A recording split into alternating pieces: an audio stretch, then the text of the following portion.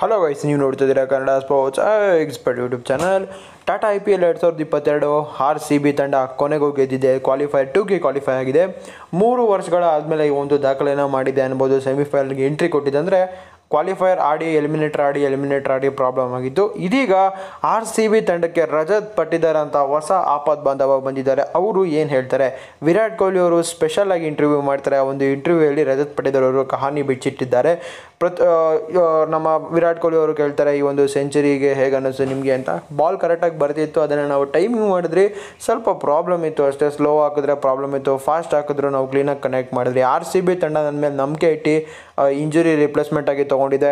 ಅದಕ್ಕೆ ನನಗೆ ಚಿರಋಣಿಯಾಗಿರ್ತೀನಿ R C B ತಂಡವನ್ನು ನಾನು ಯಾವುದೇ ಕಾರಣಕ್ಕೂ ಮರೆಯೋದಿಲ್ಲ.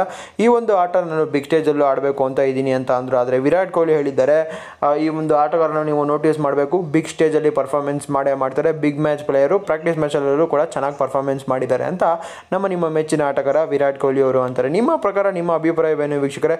ರಜತ್ ಅವರ ಪರ್ಫಾರ್ಮೆನ್ಸ್ ಬಗ್ಗೆ ಪ್ಲಸ್ ಅಸರಂಗ ಕೂಡ ಚೆನ್ನಾಗೇ ಬೌಲಿಂಗ್ ಮಾಡಿದ್ರು. ಬ್ಯಾಟಿಂಗ್ ಅವ್ರಿಗೆ ಆಪರ್ಚುನಿಟಿ ಸಿಗ್ತಿಲ್ಲ. ಬೌಲಿಂಗ್ ಮಾಡಿದ್ರು ಅಷ್ಟೇ. ಬೌಲಿಂಗಲ್ಲಿ ಸ್ವಲ್ಪ ಕಾನ್ಫಿಡೆಂಟ್ ಇತ್ತು ಅಂತ ಹೇಳ್ಬೋದು. ನಮ್ಮ ಬೌಲರ್ ಮೊಹಮ್ಮದ್ ಸಿರಾಜ್ ಕೂಡ ಚೆನ್ನಾಗಿ ಮಾಡ್ತಾರೆ. ಮೊದಲನೇ ಓವರಲ್ಲೇ ವಿಕೆಟ್ ತೊಗೊತಾರೆ. ಅದು ಆರ್ ಸಿ ಬಿ ತಂಡಕ್ಕೆ ಇವತ್ತಿನ ಪಂದ್ಯದ ಪ್ಲಸ್ ಪಾಯಿಂಟ್ ಅಂತ ಹೇಳ್ಬೋದು. ಅವ್ರ ಫಾರ್ಮ್ಗೆ ವಾಪಸ್ ಬಂದರೆ ತುಂಬ ತುಂಬ ಖುಷಿಯಾಗುತ್ತೆ ಆರ್ ಸಿ ಬಿ ತಂಡದ ಆಟಗಾರರು ಈಗ ಸೆಟಲ್ ಆಗಿದ್ದಾರೆ ಅನ್ಬೋದು. ನಾಳೆ ನಡೆಯುವ ಪಂದ್ಯಕ್ಕೆ ಆರ್ ಸಿ ಬಿ ತಂಡದಲ್ಲಿ ಏನೆಲ್ಲ ಬದಲಾವಣೆ ಆಗುತ್ತೆ ಅಂತ ಕೂಡ ನಾನು ನಿಮಗೆ ತಿಳಿಸ್ಕೊಡ್ತಾ ಬರ್ತೀನಿ. ಒಟ್ಟಲ್ಲಿ ಅಭಿಮಾನಿಗಳು ತುಂಬ ಖುಷಿಯಾಗಿದ್ದಾರೆ. ರಣಕೇಕೆ